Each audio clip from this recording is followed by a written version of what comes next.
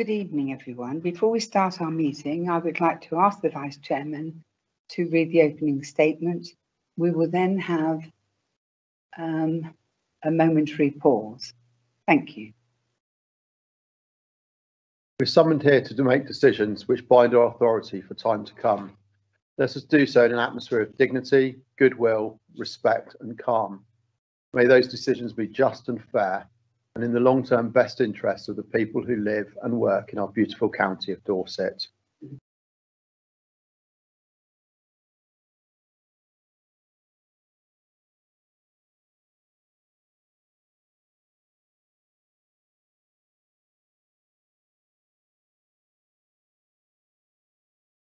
Thank you, Councillor Parks. So welcome everyone to our full council meeting. May I take the opportunity to remind members that for this evening's meeting, all members of council will debate the items in the normal way and will take a minded to decision. At the end of the debate, I will then ask the appropriate officer to take the formal decision under the extended delegated powers for openness and transparency. Agenda item one is apologies. Um, Susan, please could you advise us of apologies? Thank you, Chairman. Uh, we've received apologies from Councillor Roland Tarr, Councillor David Gray, Councillor Sarah Williams, Councillor Tim Cook, Councillor Andy Canning, Councillor Rebecca Knox, Councillor Bill Pipe and Councillor Julie Robinson. Chairman, can we add uh, Councillor Bill Trite? He did contact me today he may, if he's not here, he's not very well at the moment, so he's asked me to give his apologies. Thank you very much, um, Councillor Flower. Could we Chairman. add those on then, please, Susan? Chairman, Yes, could I, Chairman. uh, sorry, Chairman, Thank- could I uh, just thank- add um, Councillor Matthew Hall, who is on his way to the meeting, but he's in traffic in Bristol or coming out of Bristol. So he will make it later, okay? Thank you very much. So um, agenda item two is declarations of interest. Um, are there any declarations of interest, please?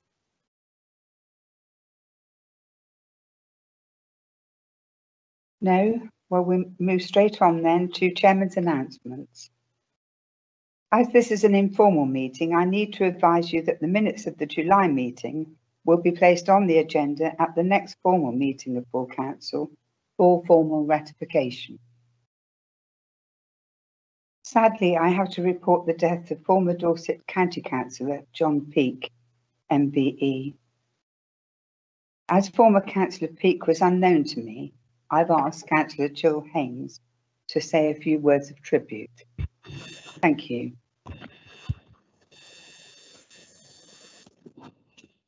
Uh, thank you very much, Chair, uh, Chairman. Um, I'm Councillor Jill Haynes and I have the, um, the, the ward of uh, what is now known as Chalk Valleys. I knew John for many years as my local councillor, but also through his wife Venetia and our shared love of horses. John was a man who loved Dorset and in particular its countryside and farming heritage. He was to be seen at every country show, country county show, sorry, and ploughing match, with always something to say and a question to ask. He was a great believer and supporter of our county farms estate, and during his time on Dorset County Council, was responsible for many of the tree planting schemes. Some were just little coppices of unused blocks of land, but he left a lasting legacy outside County Hall, the marvellous specimen trees, and also the avenue of limes leaving Dorchester towards the A37. When he stepped down from Dorset County Council, I was selected to stand as the Conservative candidate for the area. John was incredibly generous and gave many hours of his time introduce- introducing me to the movers and shakers of what was to become the Three Valleys ward. This was done on a strict timetable of timed visits, which he'd arranged previously. But what impressed me the most was that some of those introductions were to people who would probably never consider voting Conservative, but nonetheless were important to the fabric of the community. Had a genuine interest in people and always made time to talk and ask questions. and making others felt that they were listened to. He was an avid attender of Conservative Party conferences, hugely non knowledgeable and conscientious Conservative supporter. He was always the first to jump to his feet to ask a question or challenge the speaker. And in all the years I knew him, he never stopped talking about the fact that the best way to judge a person's politics was to try and sell them a Conservative raffle ticket, as well as urging all others to do the same thing. I was unable to attend his memorial service, but I did go and visit Venetia on a beautiful sunny afternoon, and we sat outside and reminisced about all the amusing things that had happened in his life. It was good to remember him in that way. He was a true countryman and a gentleman in both sense of the words. Thank you, Chairman.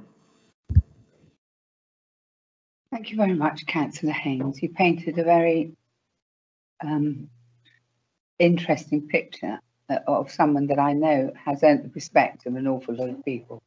Thank you. Agenda item four is public participation, questions and statements. I'd like to invite officers uh, to read out the questions and statements submitted by members of the public. Um, this evening, um, Matt Prosser gives his apologies, but um, we have uh, Aidan Dunn deputising for him. So question one is submitted by Holt Parish Council, and I will ask Aidan Dunn to read it. Thank you. Thank you. Good evening, councillors. Holt Parish Council has seen in recent months a significant increase in breaches of planning law. The criteria on the Dorset Council website are vague and undefined to anyone looking for guidance. This vagueness means that as a parish council, we are unsupported when making reports to the enforcement team for investigation and in fulfilling our own duty to represent our electors. We want Dorset Council to explain why it has set its own very vague criteria by which to investigate breaches, making it unclear it is fulfilling its obligations for enforcement. Thank you very much, Aidan. And we will now hear a response by Councillor David Walsh. Thank you, Chairman. I'm Councillor David Walsh, Portfolio Holder for Planning. Holt Parish Council state that they have seen a significant increase in breaches of planning law in recent months. The Council has also seen an increase in the number of enforcement cases across Dorset as a whole.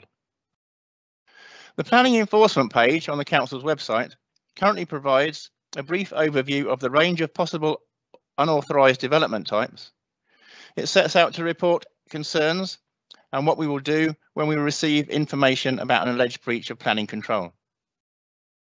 The page includes a link to the Council's planning enforcement plan, which sets out in more detail as to how the Council will deal with notifications of alleged breaches and the steps taken during enforcement investigations. A link is also provided to the National Planning Practice Guidance on Enforcement. The Council is currently reviewing its planning enforcement plan, and as part of the review, we are aiming to include more detail on the options that are available to the Council to tackle breaches of planning control, and how decisions are taken as to whether or not it is expedient to take action in each case. This review of the enforcement plan will hopefully address the concerns raised by Holt Parish Council in regards to the level of information currently provided on the Council's website. Thank you, Chairman. Thank you, Councillor Walsh. Our second question is submitted by Hannah Kins. I hope I pronounced that properly, and will be um, read by Jonathan Mayer. Thank you, councillors. Uh, question two, submitted by Hannah Cairns. I won't read it word for word, councillors, because the question is on the screen. The question concerns works carried out by Wessex Water on Portland Beach Road and Portland Road and of the disruption that those works caused. And the question is, what protocols are placed on the utility companies when granted a license to dig up major roads with limited access? What do they need to do to mitigate traffic flow issues? And if protocols are in place, what actions are taken by Dorset Council if the utility companies do not comply? Do the utility companies get fined? And if they do, how is the money distributed afterwards? It has taken my daughter three hours to get to school this morning. Due to the last week, we knew there would be disruption caused and allowed extra time for it, but three hours is ridiculous. We also run a local restaurant on the island, and this traffic issue has caused staff to be late getting home and to work. The other, the other side, it has major, um, it has majorly impacted on our business, uh, which with the pandemic has already suffered. Will business be compensated for the failures of Wessex Water? Thank you, Jonathan. We'll now receive an um, response to this question by um, Councillor Ray Bryan. Yes, thank you, Chairman. Um, and thank you, uh, uh, Hannah Kearns, for the question. I'm pleased to report that within half an hour of her receiving her, uh, her the, been identified as this as an issue, both myself and Matt Piles made contact with her to try and resolve the situation as quickly as we could. However, I'm sorry for the inconvenience that was caused to the residents of Portland and Weymouth due to the works undertaken by Wessex Water recently on the A354. In January 2020, Dorset Council established the Dorset Council Permit Scheme under Part 3 of the Traffic Management Act 2004 and the Traffic Management Permit Scheme Regulations 2007. The scheme gives Dorset Council the ability to manage and coordinate works and events on Dorset's highway network. When a permit is issued to allow works to take place, a number of conditions will be attached to it. These conditions relate to what activities the works promoter looking to perform and where on the network they are proposed to take place.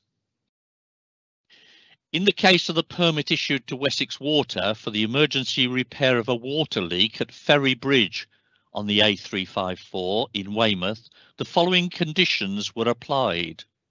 Condition 1, manual control between 7 and 7, 7 a.m. and 7 p.m. Condition 2, remove signals once work is complete. As part of the application process, the works promoter will need to submit traffic management proposals to Dorset Council for consideration. Depending on the likely impact of the work, this may also be accompanied by a joint site visit with the works promoter. This took place in August with members of the Dorset Council traffic team. Once the work is underway, the impact of the traffic management can be monitored through remote sensing traffic flow telemetry and the site inspections from our highways inspectors. If a works promoter is found to be in breach of any of the conditions of the permit, the Dorset Council permit scheme sets out a number of penalty actions which can be taken, including the issuing of fixed penalty notices. In this instance, two fixed penalty no notices will be issued to Wessex Water. The revenue generated as a result of a fixed penalty notice are initially used to cover the cost of running the Dorset Council permit scheme, with any surplus generated being reinvested back into Dorset's highway network in the form of maintenance activities. The scheme is primarily funded through the levelling of permit fees, which are set at a level to allow the scheme to operate in a cost neutral manner. Thank you, Chairman. Thank you very much, Councillor Bryan. That's a very fulsome response. Question three is submitted by Sandra Reeve and will be read by Aidan Dunn. And Sandra Reeve writes, I noticed that last week there were only two days between the posting of the agenda for the Cabinet Committee and the cut-off time for public questions. This seemed very short. Please could you clarify whether at Dorset Council there is an agreed minimum time between posting of a committee's agenda online and the deadline given for questions from the public? If so, how many days is it? Thank you. Well receiving this response. Spencer Black. Th- Thank you very much, Chairman. Well, thank you for asking the question on public participation. We obviously welcome members of the public to ask questions at our cabinet, committee or full council meetings. Dorset Council is required to publish agenda papers five working days prior to the meeting. So in the case of the last cabinet meeting, the agenda was published on the 27th of October to meet the statutory deadline. Members of the public can submit questions or statements either related to specific items on the agenda or items that relate to the business of the particular meeting. The deadline for a submission is three working days prior to the meeting, providing two full days for the submission of questions. Thank you, Chairman. Thank you, councillor Flower. But we will receive a further question, uh, could read, which will be read by Jonathan Mayer. Thank you, Chairman. In Somerset, all garden waste is composted within the county and turned into Revive, a high quality recycled compost through a contractor called Biffa. They produce two grades of high quality organic compost or soil conditioner that's suitable for commercial and domestic use. Does Dorset Council plan to initiate a similar scheme in Dorset so that local people can have access to bags of organic compost at their local recycling centres or bulk quantities directly from the contractor? Thank you, Jonathan. We will now receive a response from councillor Jill Haynes. Thank you very much, Chairman. Uh, I'm Jill Haynes. I have the portfolio for customer and community services, and that includes waste services. Uh, and I would like to uh, thank you for the question. Um, Dorset's garden waste is recycled by our contractor, Eco Sustainable Solutions.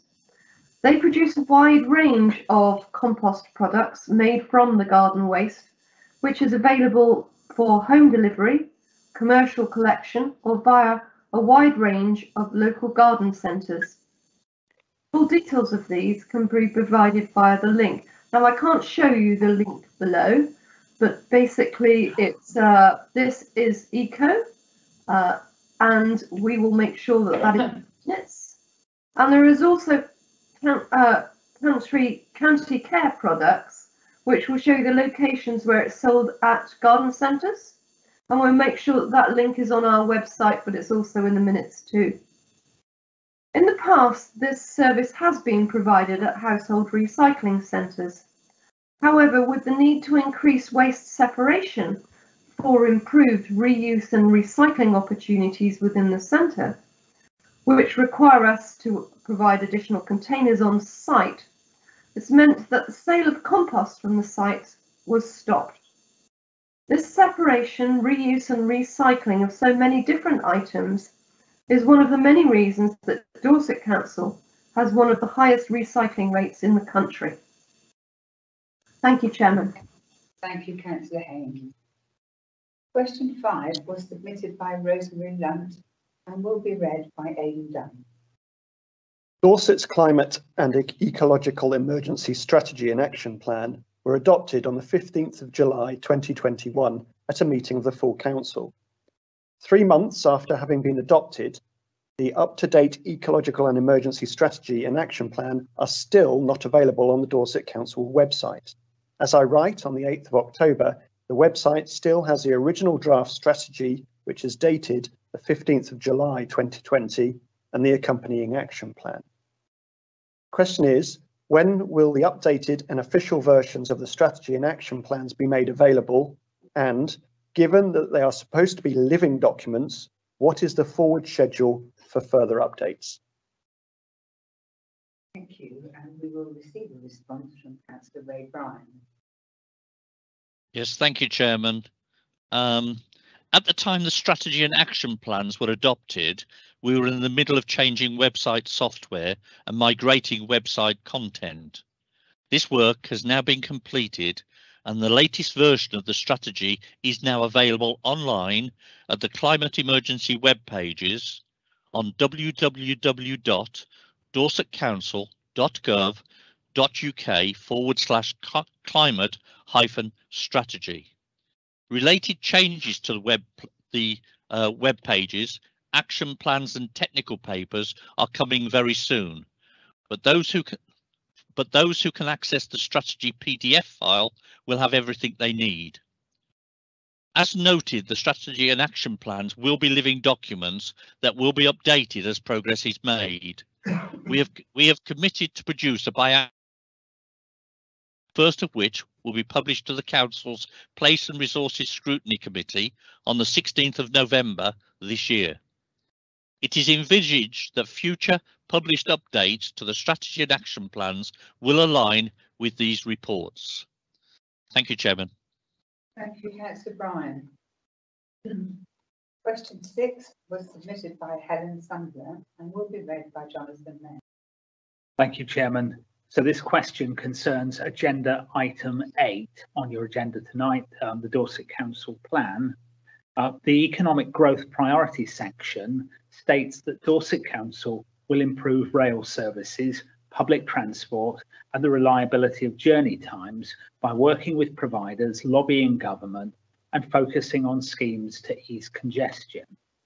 In the light of this, and bearing in mind the lack of a current implementation plan for LTP3, could I ask what progress it, uh, what progress is with the development of the revised local transport plan prepared jointly with BCP Council?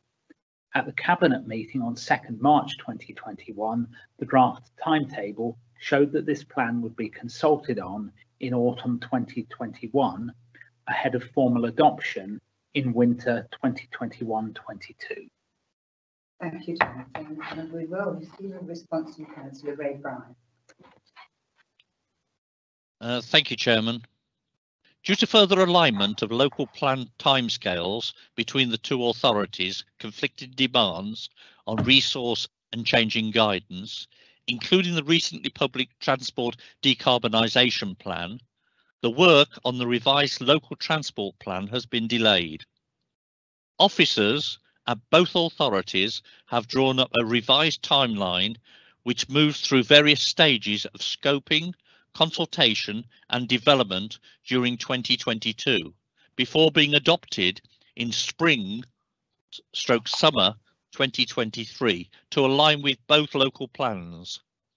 In the meantime, officers and members continue to seek the enhancements referred to through local schemes.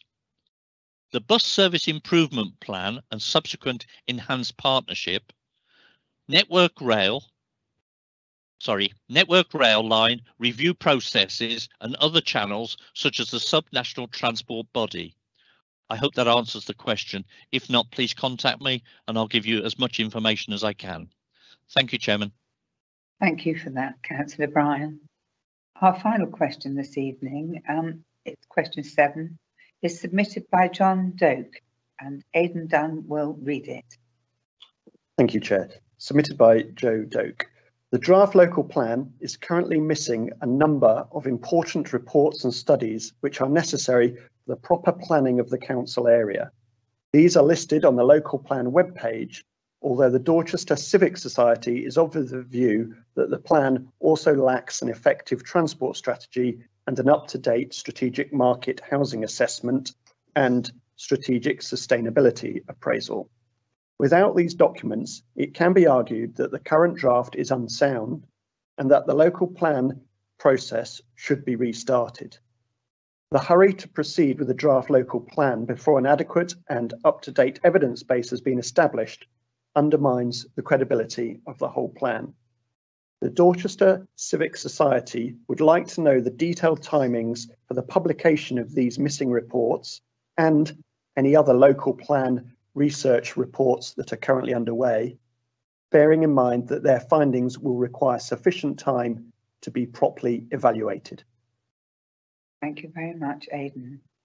We will receive a response from Councillor David Walsh. Thank you, Chairman. And thank you, Mr Doak, for your question and the opportunity to update on this. A number of evidence studies are currently in progress, and officers will send details of these studies and their anticipated completion dates to the questioner directly. The sustainability appraisal is an iterative document that helps inform the local plan throughout its preparation. The next published version will be produced alongside the local plan. but it will be amended again as the plan makes its way through the examination process. Thank you, Chairman. Thank you, councillor Walsh. Um, That concludes our questions and public participation from members of the public. Um, Agenda item five, there are no petitions or deputations. So we move on to agenda item six, which is announcements and reports from the leader. Th- Thank you very, ask- Sorry, yeah, no, so finish. Thank you very much, Chairman. Well, I, I'm not going to go through all of it. It'll get pub, the uh, bulletin will get published um, later this evening. But I want to pick on two particular issues, uh, colleagues, and one is the budget pressures for for um, uh, 22, 23. We all know how, how challenging the current uh, budget year is, um, but it's not going to get any better for next year either.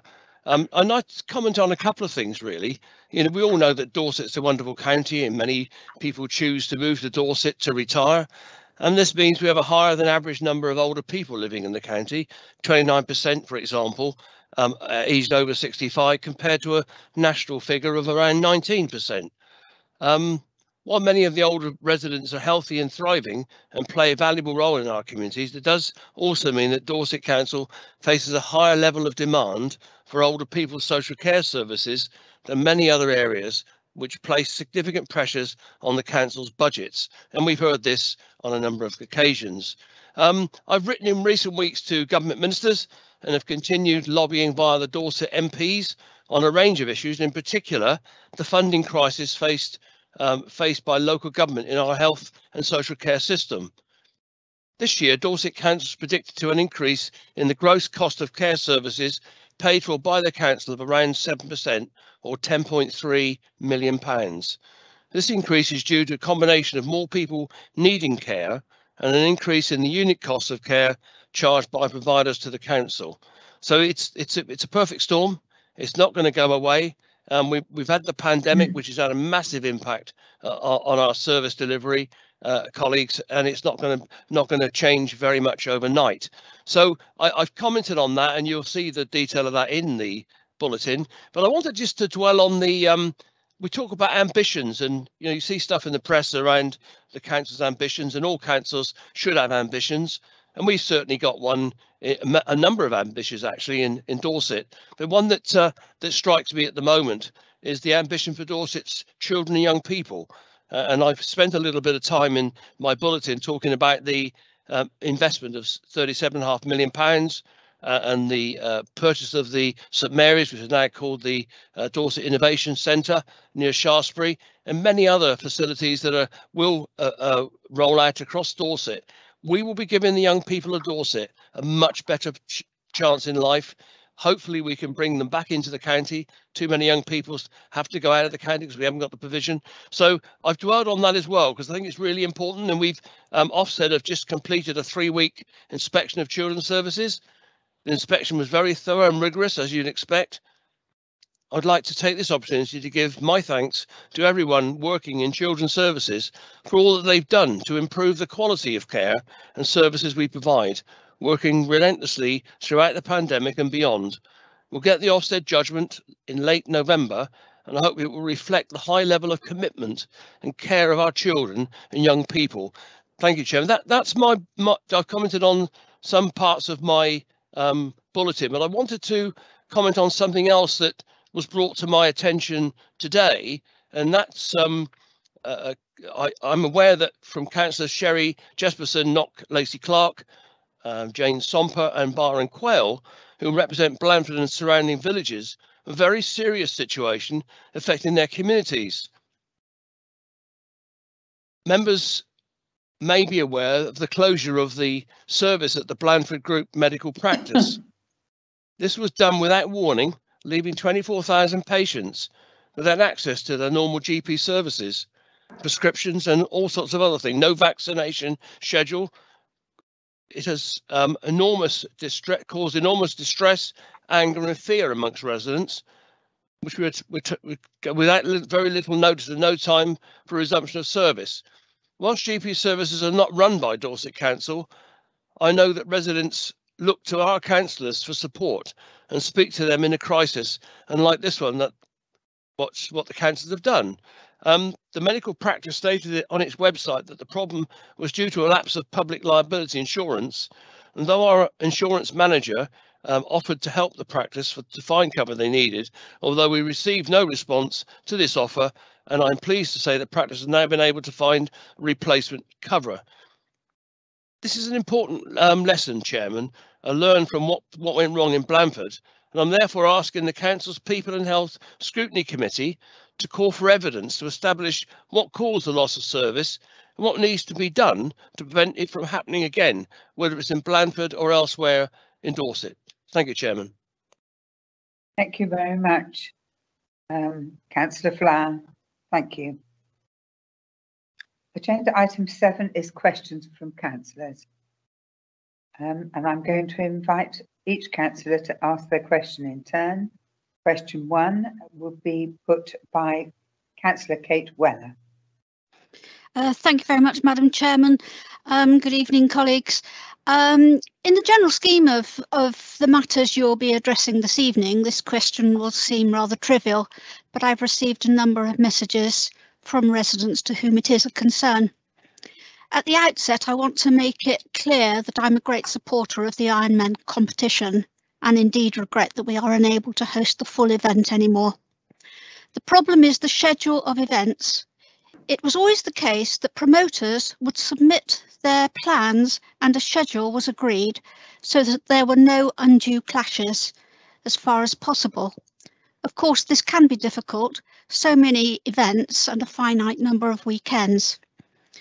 Battle of Britain is remembered across the country on the first Sunday after the 15th of September. This year, the service was unable to take place because the Ironman was also taking place on that weekend and access for those wishing to attend was considered far too difficult. This was distressing for many people for whom the memorial is significant. I don't know who or what department deals with event scheduling these days, or if anyone has oversight of such scheduling. My question is, could we try a little harder to ensure that events that might be low key but still important are not eased out of our calendars because higher earning events are taking place. Thank you. Thank you, Councillor Wheller. Uh, we will receive a response from Councillor Ray Bryan. Thank you, Chairman. And as always, uh, it's the, the, no such thing as a trivial question, Councillor Wheller. And when you have local people requesting information from you, it's our duty to answer their questions. So thank you for the question. The traffic team administer, administer approximately 200 event closures and 900 road closures relating to street works that take place on the highway each year. The scheduling of events is always difficult due to the number of events that happen across Dorset. The Battle of Britain service is not an event that we have received notification from an organiser in the past or for this year. We do contact event organisers at the beginning of the calendar year that applied for a road closure of traffic management for their event in the previous calendar year to enable us to gain a schedule of events for the next year. However, there are limitations to this. As above, this will be only those events that have direct impact, impact on the highway. If an event does not have highway impact, we are unlikely to be made aware of it. These, for example, could be events held on private property, etc. With specific reference to the Ironman, the event date is determined by a number of factors relating to the event and is agreed as a fixed date within the calendar as part of our host venue agreement for the next three years. If there are specific events, Ironman or not, that experience clashes not limited to events, roadworks can also cause clash. We can work with the event organiser to see if there is a solution to mitigate the impact and discuss access arrangements and ultimately work so that events can coexist where possible. I would I would add, Councillor Wheller, if the uh, if the Battle of Britain service want to get in touch with me direct, I will do everything I can to help them be able to uh, carry out their event. The Battle of Britain is something we ought to acknowledge and be very proud of. So thank you for the question. Th thank you very much, Councillor Bryan. Um, if that's okay with you, I'll ask them to contact you. It, it always takes place at the same weekend each year, so it, it's it's not a movable feast. So thank you very much indeed for your, for your response. Thank you both. Question two is from Councillor Maria Roe. Thank you, Madam Chairman. Uh, one of the good news stories which came out of the Conservative Party conference was that the Prime Minister pledges no homes to be built on green fields. He also promised the same thing when he was the London Mayor to the people of London. These promises are like music to my ears, and it's very reassuring news. Can people in my ward, where every single new house in the local plan is to be built on Greenbelt, celebrate this wonderful news? Thank you, Councillor Roe. Uh, we will ask um, David Walsh, Councillor David Walsh, to give you a response, please. Thank you, Chairman, and thank you, Councillor Roe, for the question. It gives me the opportunity to clarify this point. Despite the recent statements, national policy has not changed and still expects local planning authorities to plan to meet the housing needs of their areas.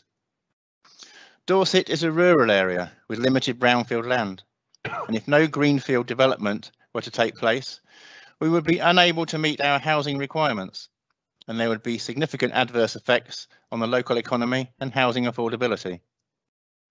Not all greenfield land is greenbelt. The council is considering the release of some greenbelt land for development, but this can only take place in exceptional circumstances and will be fully tested through the plan making process. Should national policy change, this would take into account in the local plan. Thank you. Thank you, Councillor Walsh. Question three is um, from Councillor Kelvin Clayton. Uh, good. Thank you, Chair, and good evening, everyone. Um, a recent report from the House of Commons Environmental Audit Committee concludes the scale of the challenge to retrofit existing homes to tackle the climate crisis is enormous. Energy efficiency is a precursor to the transition to low carbon heat, so action must be taken in the 2020s to set homes on a decarbonisation strategy to meet our net zero targets. Bridport and many other parts of Dorset, many of these existing homes have had requests to install energy efficiency measures, including the installation of double glazing, refused by our planning system because they are listed buildings. These listed buildings are nothing grand. Many are simple terraced houses that have been occupied by generations of working families, and the installation of double glazing would lead to less than substantial harm to their significance as a heritage asset. Could I have an assurance that the new Dorset local plan will take a different attitude to listing building consent and positively encourage the retrofitting of energy efficiency measures. Thank you, Councillor Clayton. We will receive uh, a response from David Walsh. Thank you. Thank you, Chairman. Thank you very much, Councillor Clayton, for this question, which I'm sure we will continue to debate in the local plan EAP that we're both on. Now, the local plan must be in accordance with national policy, which includes the protection of listed buildings, as well as on energy efficiency. The planning white paper included the suggestion that national policy on this matter might be changed to give increased priority to energy concerns. And if this happens, it will be followed in the local plan.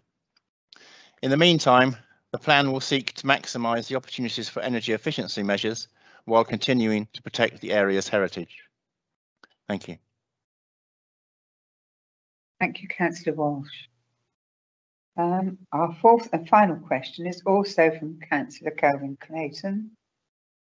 Thank you. Yeah, thank, thank you, Chair. Um, I have been contacted by more than one professional involved in submitting planning applications expressing their concern with the planning process within Dorset since we became a unitary authority. Of particular concern are the timescales involved in simply acknowledging applications, let alone in processing them. I understand that the increase in people working from home has led to an increase in applications and that the amalgamation of various planning systems into one has been a challenge. But I need to be able to reassure people who are getting increasingly frustrated by the delays and I need to be able to reassure those small business owners whose business development plans are being held up by the delays. When can residents and build business owners expect acknowledging and processing times to return to normal? Thank you, Councillor Clayton. And a further response, please, from Councillor David Walsh. Thank you, Chairman. And thank you, Councillor Clayton, for the opportunity to reassure people on this point. I hope that you read my cabinet report this week, or possibly last week. I've lost track of the days. Um, that gave a, a more detailed response to where we are on validation and passing on the baton to decision making and planning. As to your question, following recent recruitment to a number of posts in our technical support teams, we now no longer have a validation backlog in our Southern and Western Committee area. The teams are also working hard to clear the validation backlog in the Eastern and Northern Committee areas, with the aim of all validation backlogs being cleared by the end of this year. This will mean that planning applications will be validated promptly. It will take longer to clear the decision backlogs and achieve our aim of determining most planning applications within the statutory timeframes, usually 8 or 13 weeks. We are aiming to make significant progress on clearing the decision backlog by April 2022, but applicants and agents should start to see improvements sooner than this, given the positive progress on reducing validation timescales.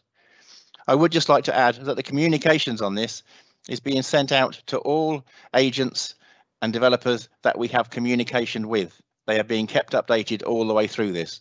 But thank you for raising this subject, Councillor Clayton. Thank you, Councillor Walsh. That's most helpful. Uh, now we come to agenda item eight, the Dorset Council Plan. And I'm going to ask Councillor Peter, Peter Wharf to introduce the report and propose the recommendations. Thank you. Thank you, Chairman. Councillor Peter Wharf, uh, Cabinet Member, Portfolio Holder for Corporate Development and Change and Deputy Leader. Um, gives me great pleasure to to present this report. It has been through a variety of processes. It went to the cabinet meeting in June. It went to uh, overview committees who reviewed it in quite a lot of detail. And I'd like to thank the members of the two overview committees uh, for the time and the work they put into it. Uh, they held an informal workshop which provided a number of recommendations, most of which have been followed up. And one of the key recommendations was that the climate and ecological change becomes a priority rather than just literally going round the whole thing and, and being part of the inter interrelated actions and priorities. So we now have a further single priority, which is climate change, which will need to be taken into account of uh, along with all of the others. Uh, so from that overview committee, uh, a number of changes were made, and in particular, the introduction was made clearer and we put information which clarified some of the special characteristics of Dorset. We uh, put some links into the key areas within the report. And there was a significant discussion at the overview committees as to whether we should change the name because it was felt that the name might be slightly confusing with our local plan, as in the development local plan. Um, the discussion uh, took quite a long time and there was no hugely strong feeling between whether we should change the name. A number of names were put forward. I have since spent quite some time with our Commons Department and they are of the view, and I agree with this, that the key actions that we should be taking are to differentiate the council plan from the local plan rather than changing the name now, which might confuse people as to what it is and what it was. So I don't intend to propose that we change the name, uh, but I do intend that we propose that we approve this plan and there will be a single sheet, uh, a one page, one, on, one item on a page, which we will produce, and there'll be delegated responsibility for the production of that. So I recommend this for approval, Chairman. It has been through a very detailed process, and I thank everybody for the help they've given. Thank you, Chairman. Thank you, councillor. Thank you, councillor Wharf. I've got an echo all of a sudden. Um, I do understand councillor Spencer Flower would like to second this proposal, is that correct? Yes, indeed, Chairman. And I can I echo Peter's comments. I've got nothing to add. He- He's been very eloquent as always, set it out. Good piece of work by all of every, all members who've been involved in bringing this, refreshing it and bringing it forward. It's a it's a live document. It's something we we, we need to to treasure and use productively in helping to uh, take the council uh, the forward and, and dealing with the the challenges that we're we're faced with. So more than happy to second, Chairman. Thank you. Thank you very much, um, councillor Flower. I, it appears we have a, um, request to speak declaration from councillor Holloway. Thank you, Madam Chair. Um, just re-reading the report on the local plan, it states in the economic about Dorset Innovation Park. Now, I have to declare that I do have a small business there, so I would appreciate if I could have uh, legal just to advise me on that. Is that going to affect me to be able to vote on this tonight? Thank you. Thank you. We'll ask uh, Jonathan Mair. Thank you. Chairman, could I just confirm with councillor Holloway, ha- is this an interest that you've declared in the register of disclosable pecuniary interests? Yes, it is. It is. No, it is. It is in my register of interests. It is. Chairman, I, I think in that case, um, councillor Holloway should um, declare that to the meeting as he has done and uh, withdraw for the meeting uh, for this item, which for the purposes of a, a meeting on, online, I think if you can just turn off your um, turn off your camera and, and then uh, we'll in- invite you back in in a moment. Thank you. Uh, but not not to take any any part in this item at all beyond having made the declaration. Thank you, councillor Holloway. Um, councillor Shane Bartlett, requests to speak. Thank you, Madam Chairman, for giving me the opportunity to speak. And uh, thank you to the officers and the portfolio holders for the work they've done on this plan.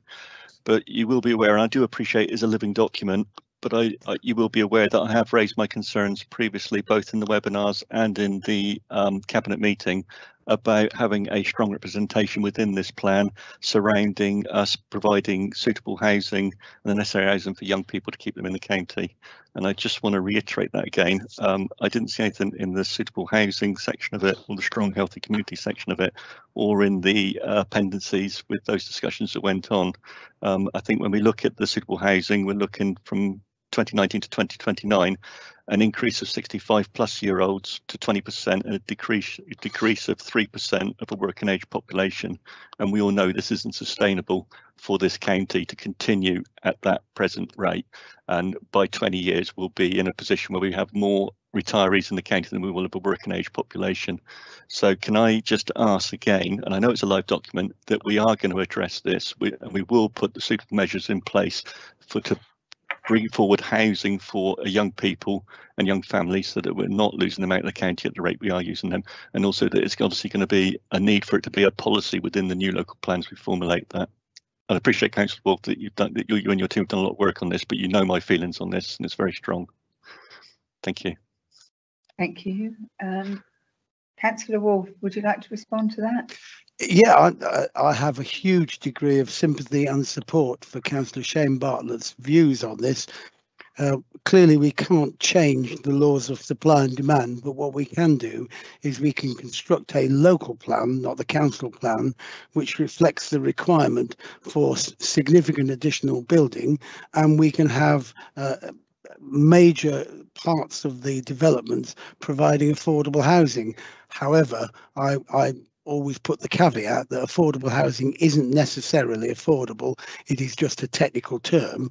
And I'm afraid to say that, the, that we are governed by the laws of supply and demand, and I won't be able to change those. What I can do is try and make minor changes by having the the um, the, the sense in the council plan but David Walsh in the local plan is working extremely hard in order to have very significant affordable housing targets in order to be able to provide the housing, the sort of housing you're talking about, in order to try and encourage young people to stay here. Thank you, Thank Chair. you. Thank you, Councillor. Thank you, Madam Chairman. Thank you, councillor Wharf. Uh, we have a request to speak from councillor Kelvin Clayton. Yes, thank you, Chair. Um, I obviously support the recommendation that the climate and ecological emergency become one of the main priorities of the council. Achieving even our most modest carbon reduction targets, however, will require that our climate and ecological emergency strategy and action plan, becomes fully integrated into all areas of our work and becomes a key feature of our budget not just something paid for out of government grants. There will also be many occasions when delivery of the strategy and action plan is at odds with other priorities, most noticeably, as the leader of the council notes, with economic growth. To ensure that delivery of this strategy and action plan becomes our most absolute priority, becomes fully integrated across all departments and to help resolve the tensions within economic growth. Could I suggest, as this is a living document, that we consider the appointment of an executive director with the sole responsibility for its delivery? Perhaps the executive director for climate change, ecology and the economy. Thank you, councillor Clayton. Uh, would you like to respond to that, um, councillor Wharf, or just um, nod I in will- I- agreement? I will, no, I will, I'm, I'm, that needs to be the subject of quite considerable discussion and we don't appoint executive directors for another function as a result of one councillor raising it at this particular meeting.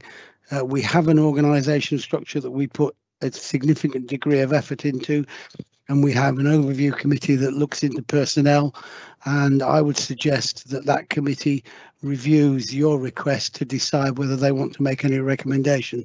But I'm certainly not going to agree to the recruitment of, of a new position as currently undefined because it's just not the right way to organise a business. We went through a huge degree of effort in constructing the organisation and the organisation chart and I do not want to ch- change it or tinker with it in order to meet one person's suggestion. So I'm suggesting that uh, Councillor Clayton takes his request to the overview committee the, that deals with personnel and they can review it if they wish to do so. Thank you, councillor Wharf. Thank you, councillor Clayton. Um, councillor Penfold.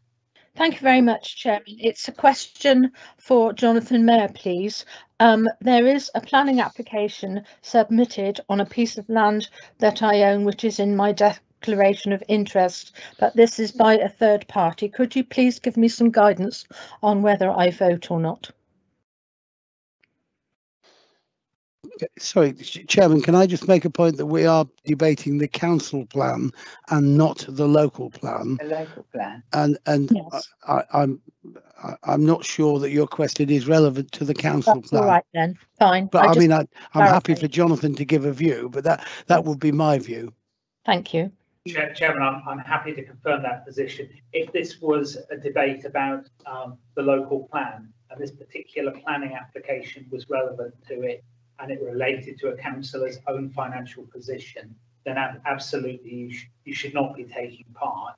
Um, but this is about is about the the council plan, and that doesn't relate to individual um, developments that uh, the councillors might might be involved in, as far as I can see. Thank you very much. I just wanted to be sure. Thank you. Fine, thank you. Thank you, councillor Penfold. Um, councillor Andrew Kirby. Hello, evening. Thank you, Chair. Um, I um I welcome the leader's comments earlier. He he mentioned that that that Dorset does have an ageing population, and um I um it's funny actually. I think Shane and I are twins, perhaps separated from birth by a few years, um because with regards to affordable housing and, and keeping our younger people in Dorset, it's something that I made at, at, at my committee, and I I fundamentally I fundamentally welcome that. Um, but I think one of the things we we haven't really really pushed, it's in the document, but it's not really there. Um, is that as a result of our ageing population, our adult social care budget is going up and up and up.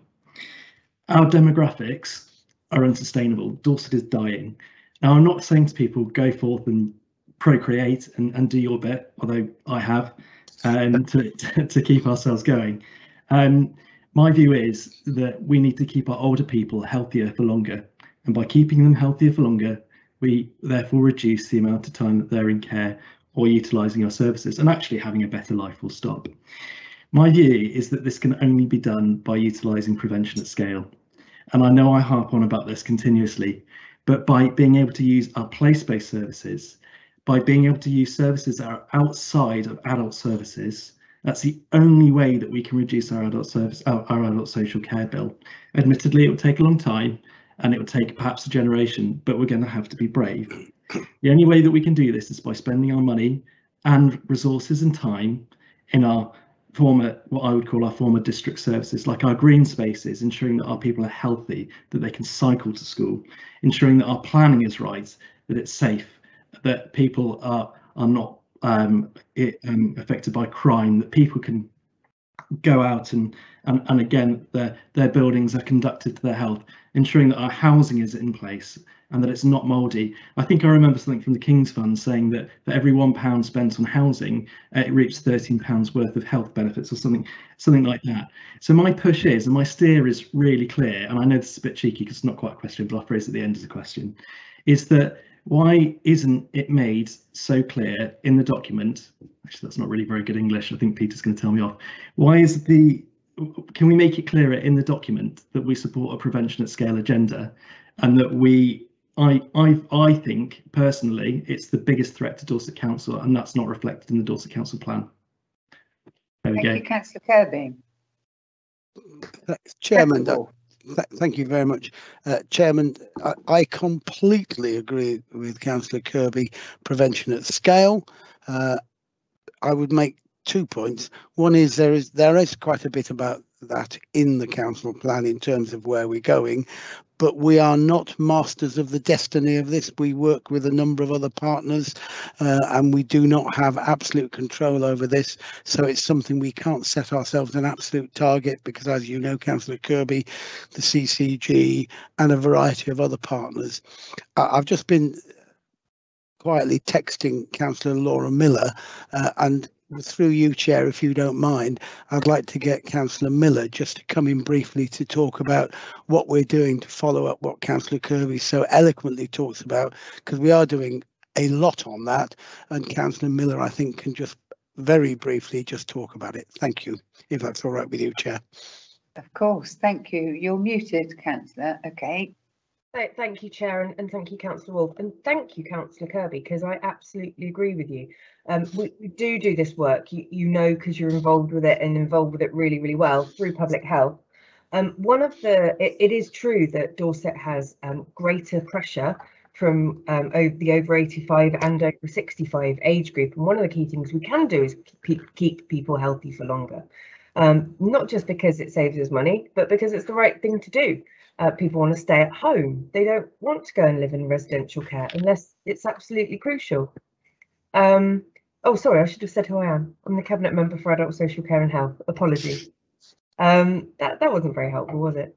Um, so, so, so this is a huge um, challenge for us. It, it is difficult. Uh, you know, uh, Councillor Kirby, I've been in a situation where housing was a challenge for me.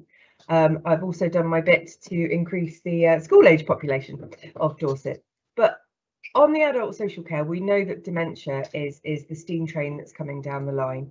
Um, we've got uh, plans in motion that that we think we can try to to influence the market and and try to provide suitable accommodation, nursing care for people with with sort of high acuity dementia. that's probably our biggest cost pressure. Um, so if you couple that with the work that we will do, are doing and will continue to do um, through public health um, to keep people healthier at home for longer, um, you read a lot about waiting lists in our acute hospitals. Prevention um, in, the, in our communities has a huge amount to do with reducing waiting lists. And of course, people don't go into hospital in the first place, then they don't need care when they come out.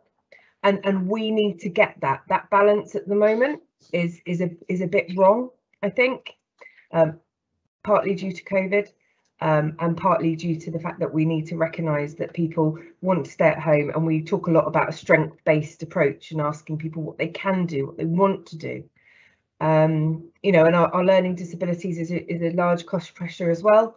Um, we saw today um, a student uh, from Employee Mobility has now gone into full-time career as a chef. That's the kind of opportunities we want to be creating for our adults with um, learning disabilities of a working age um, keeping our older people fitter and healthier and at home for longer. You're absolutely right. That's got to be our ambition. Thank you. Thank you, Chair. Thank you very much. Um, that was really um, very strong uh, and forceful reason to support the um, recommendation. Thank you. I have uh, three people requesting to speak and then we will take the vote, please. So Councillor John Andrews. Yeah, thank you very, thank you very much, Chair. Um, uh, I totally commend uh, the report. Um, uh, what Councillor Bartlett said and Councillor Kirby said absolutely true. One of the key segments in our economic or our Dorset plan is economic growth. Um, I'd like to kick the backside out of the economic growth and wonder who is dealing with it. I know it's probably John Sellgren, who's probably the most overworked uh, executive director in the in the whole of the whole of the place. Um, so I would just like there to be some focus on economic growth because without economic growth and bringing those jobs in, those affordable houses won't be affordable because they won't be able to afford them because they're not earning enough money. Um, so we need to go, as Councillor Flower said in his thing uh, earlier, St Mary's is a site that there's going to be some innovation on. I don't know what innovation that is. I don't know who was talking about the innovation part but we need to be building those high tech industries on that innovation park and those two sites to ensure that the people of Dorset and the young people of Dorset uh, are enabled to stay in the county. Um, so I commend what everybody is saying and, and, support the report. Thank you very much. Thank you very much, um, Councillor Andrews. Um, I, what it's worth, I totally agree with everything you've said. So, um, Councillor Louis O'Leary. Uh, yes, thank you, Chairman. Um, uh, I know this report, I mean, it's been through a load of scrutiny. Councillor Wharf's done a very good job on it. Um, talk about economic growth. Economic growth is the is should be our one of our key things to move forward on. Um, you speak to residents is one of the things they're keen on. But the thing is, and I've said it at previous meetings, um, it's okay getting the jobs, but you need the people for those jobs. It's okay having the people with the skills, but it's getting them the jobs that those skills need. Um, I think you know it'd be really good to have more of a focus on things such as apprenticeships. I think we're too reliant at the minute on seasonal economy as well as public sector jobs, and getting those high tech, good skilled private sector jobs coming here is good, but we also need to train up our own people to uh, to be ready for those jobs. Um, paying a, a new executive director um, for climate change is not not what we need at all. We actually need to focus on economic job, economic growth, and getting the people for those jobs, and that should be our own people first on that one. Thank you. Uh, thank you, Councillor O'Leary. Uh, next, uh, actually, we've got Councillor Ray Bryan snuck in on the end, and since it's him, I will extend this um, so that we have Councillor Paul Kimber and then lastly Councillor Ray Bryan.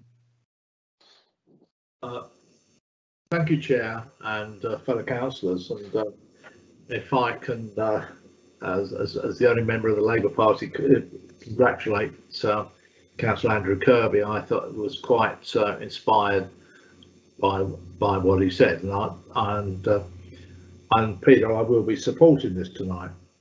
But there's a lot of things that we've said tonight that I completely agree with it's fair to say, I, th- I think, first of all, probably one of the biggest issues will be don't let's start dishing climate change. uh, is probably one of the biggest issues that people stop and talk to me about, and, and more than anything, and and the council's res- response. But also, uh, Louis, you're dead right. Economic development is is important. I've had three. I've had a, an emergency in my house, and I've had three builders in today, all young guys. But all three guys do not live in their own homes. They rent the homes, and it's. I just see this as a real impossible task in trying to keep our young young people. And I couldn't go through a whole meeting without talking about Portland. We need every bit of help for our young people. Thank you very much. Thank you very much, councillor Kimber. So lastly, we'll hear from councillor Ray Bryan. Uh, thank you, Madam Chairman, and thank you for allowing me to uh, at least say a few words. Uh, a couple of things that have been mentioned from people during the debate, and one of the highlights in uh, the, in the report that we have uh, in front of us is the 19 million that we are already being awarded by central government towards our target of 130 million that we're going to spend on climate change uh, on the proposed strategy or the uh, the strategy in front of us. I can tell you now that the 19 million uh, had a target date at the end of September. We've managed to get that extended until the end of March. So the work will continue at pace and I'm pleased to report that uh, we've currently spent about 4 million of it and the rest of it is uh, work in progress. Um, uh, so I thought I'd just update everybody on that, just to say how well that is going. I'd like to pick up on something Councillor Kirby said, and obviously not wishing to step on uh, Councillor Miller's toes, but I'm going to give a, a real plug for green space on the health and well-being. It was mentioned by Councillor Kirby, uh, and, and we have to uh, realise that a lot of the facilities we have in green space, be it rights of way, which keep people fit and healthy, the walkways, the new cycleways we're introducing uh, across everywhere, specifically in the southeast at the moment, but more to follow, let me tell you. Uh, the adoption of bringing bikes into certain areas, uh, that's all for the future to try and keep people healthy. This is all part of this major local plan. For those that don't go to Moors Valley, go and have a look at the sterling work that has happened there over the last 12 months. Ride one of the bikes around some of the uh, the pathways. It's a great way of keeping yourself fit and healthy, and we have a duty to continue to deliver these sort of facilities for our residents. And thank you for giving me the opportunity to speak. Thank you very much. Um, sorry. Thank you very much. We will now Can I just make, sorry, Chairman, can I just Yes. make a few closing remarks because Yes. uh, a number of uh, really important issues have been raised. Um, can I thank the members for the interest they've shown? I'm very grateful. Uh, I haven't come armed with all of the detail that will be able to answer some of the questions, but I would point out that we are one of the largest uh, recruiters and employers of apprentices in the county, uh, and we have used apprentices right across the piece. It's a very important issue that we're following up. Can I also point out that um, whilst I agree with a lot of what people said, the, the various themes are in many ways in tension between each other. There is a tension between looking after our green and beautiful county and in building houses in order to accommodate people. And what we have to do is we have to balance those tensions all the way through. And we do so by having an understanding of what the key drivers are, which are the tensions in the in the roundel that you can see behind me, which will be changed, but also with the overview committees and this sort of debate, which will guide us to make informed decisions, which will sometimes be quite difficult. So I thank the members for the debate. I thank the staff for the effort they've put into this. Uh, and I would ask people to continue to uh, extol the virtues of the council plan. Thank you. Thank you very much, councillor Wharf. Um, a- an impassioned plea there, I would say. Um, and so much good work has gone into this. Um, right, we will now take the vote, please. Hopefully it'll come up in, on our screens. Chairman. Chairman, the voting form is now in the chat bar. If any members have any technical difficulties in voting tonight, please could I ask that they wait until I ask for verbal votes once all of the electronic votes have been received. Thank you. Thank you, Susan.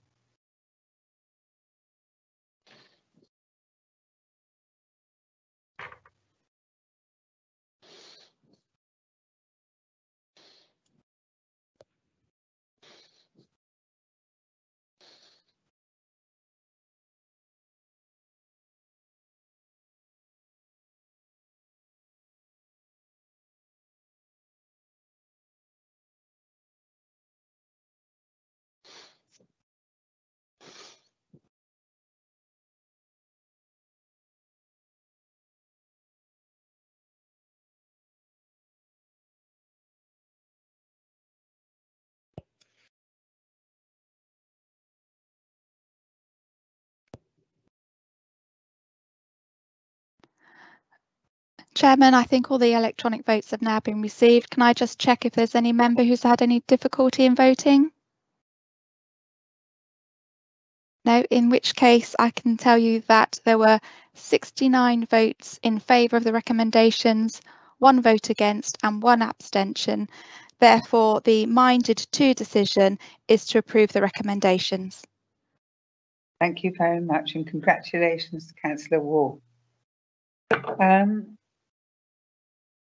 having taken the minded to vote, we will now ask, sorry, uh, sorry, we will now ask Mr Aidan Dunn to take the formal decision under delegated powers.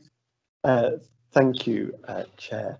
Having listened to the debate and having taken into account that members would have been minded to support the recommendations in the report had they been able to take the decision, then my decision is to agree to the recommendations A and B, that the updated council plan as set out in Appendix 1 of the report be adopted and that the authority be delegated to the portfolio holder for corporate development and change in consultation with the leader of the council and the chief executive for the final design of the plan.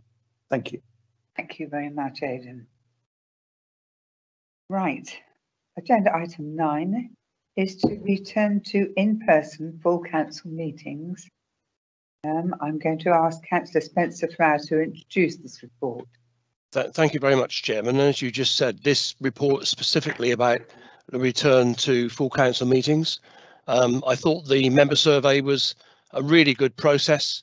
And in fact, there was a very strong consensus by members, apart from full council, that we should re return to in in in-person meetings as soon as we could. Um, and the, really, the only question here, I guess, is that um, we we need to make sure the technology is in place. We you know we've set some standards. Uh, in public have had an opportunity during the pandemic to have far more involvement in um, uh, observing our meetings and we've got webcamming equipment to be purchased and, be, and being installed. And really, to, I'm not going to read, not going to go through the report itself, Chairman. I'm I'm sure colleagues have, have done that. What I am going to do is um, table a, an alternative uh, recommendation, and I suspect that it's um it's the one is it oh, let me read it through i'm going to read the my alternative recommendation um that full council and all committees will return to in-person meetings from when the appropriate webcasting equipment has been installed and tested to the satisfaction of group leaders and anticipated to be by mid-November. In the meantime, informal arrangements will continue as previously agreed by full council on the 4th of May annual council and extended by the chief executive. So it opens up the opportunity for us to, to get the webcamming yeah. equipment in place and that, and you, most of us will be aware that the next full council meeting is the 14th of December. And I think we need to be optimistic that uh, we'll be able to ha have that meeting in person, Chairman, the first one since whenever it was February 2020. So I'm, I'm going to move that amended recommendation. I believe we got a seconder. Thank you. Thank you, Councillor Flower. I understand that Councillor Les Fly would like, sorry, Fry, not Fly, will would like to second the proposal. Is that correct? Councillor That's Fry? correct. Thank you, Chair. Yes, I would like to second this motion. I know that the majority of members and officers are very keen to get back to face-to-face -face meetings, but we must work at the pace of those people with the greatest fears, whatever they may be. There are also considerable gains for virtual meetings in helping our climate emergency and those who are working full time. Therefore, I fully support this amended motion and it's the best possible way forward and I'm happy to second this motion. Thank you. Thank you very much, Councillor Fry. I understand um, Councillor Wharf would like to make a statement. Is that true, Councillor? That is correct. Thank you, Chairman. Thank you. In my position, uh, uh, uh, liaising with staff and having HR responsibilities, um, in considering the approach to be taken for future council and committee meetings, I think it would be useful to provide to members an update on the planned working arrangements for officers and staff and also for customer access as these the, this information will provide further context to the general debate and will ensure that what we are suggesting and what we are doing is in tandem with what is being suggested and acted on for the staff. As members will be fully aware, since March of last year, many of our officers have had their normal work patterns dramatically interrupted by the COVID pandemic. This has meant undertaking their role within the restrictions put in place by the government, which for a large number has seen them working from home either in whole or in part. With the formal restrictions on office workplaces being relaxed, plans are in place for us to deploy the Dorset Workplace, which is the name of our approach, and this is our approach to hybrid working, which allows our teams to work from the locations which are most effective for the delivery of their service. Depending on each job role, this could be a mix of in the office, at home, on site, with clients or customers. From this week, each team is beginning a phased move to hybrid working, and this will build up over a timescale that works for different areas and is therefore is not a standard timescale. But I imagine that by early next year, most of our officers who work allows it will be working in a new and more flexible way. In July, we reopened customer service points in Blandford, Northern Lodge, Bridport, Mountfield, and at our libraries in Dorchester, Wareham, Wimborne, and Weymouth. We are actively providing triage services and resolving customer inquiries, covering many council services such as housing, council tax, and benefits. And we're also working closely with partners such as Citizen Advice to signpost for additional support. We continue to encourage customers to self-serve online or to use the telephone wherever possible. These are, after all, the most efficient channels which help us focus on those who most need face-to-face -face support who, who cannot go online. We're now working on improving confidential space in our libraries to provide more opportunity for services to meet with customers locally. These plans are being established and will be launched in due course. Finally, I, I, can provide some additional information on the timeline for deploying the technology to support webcasting. Although there will inevitably be a settling in period, I'm confident that by mid-November we will have resilient webcasting provision in place in the council chamber in County Hall, and this will allow much wider public access to our meetings. However, I expect the introduction of this to be frankly lumpy because it is dealing with both new technology and a new way of working what what uh, IT and democratic services are doing is that they are testing the use of hybrid equipment.